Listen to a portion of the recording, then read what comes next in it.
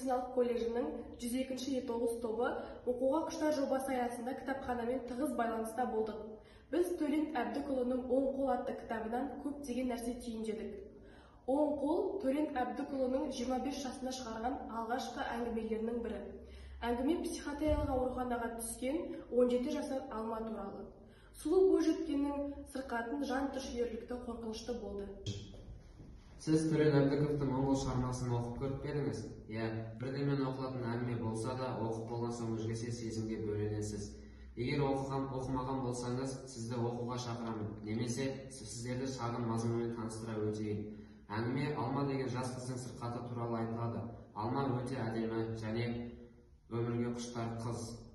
Ол қыздың дерті өз өзінің оң қолы бағынбайды және өз өзін қылқындырады әсіресе бұндай жайт түнде көп қайталанады. Ақыры соңында алманың анасы шыдамай алманы психиатриялық ауруханаға жатқызуға бел буады. Ауруханада жас жігіт істейді және ол алманы күні түні қарайлап және әр күні түнге қарай алмаға әңгімелер айтып беруді әдетке айналдырады. Осылайша жүріп ол бір күні алманы бәрінен жасырып серуендеуге алып шығады. Олар алдымен саябаққа артынан киноға барады. Дәл сол күні ол алмаға ғашық екенін түсініп қалай да емдеп аламын деген шешім қабылдайды.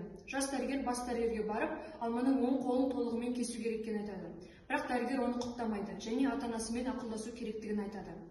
Бірақ жігіт ештеңеге үлгермей қалады. Себебі дәл сол түні алманың оң қолы өзіне жетіп тынады ал құрметті балалар сіздер төлен әбдікұлының оң қол атты шығармасын оқыдыңыздар. Енді осы шығармадан түйген ойларыңызбен бөлісе кетсеңіздер. Мен бұл жерде түйген ойым жалпы адам қауымы бойынша біз тек сыртқы ішімізге жауап береміз. Адамның ішкі ойында ешкімнің шаруасы жоқ. Мен не ойласам да өз еркім деп ойлайды. Егер де біз олай ойласақ қатты қателескен боламыз.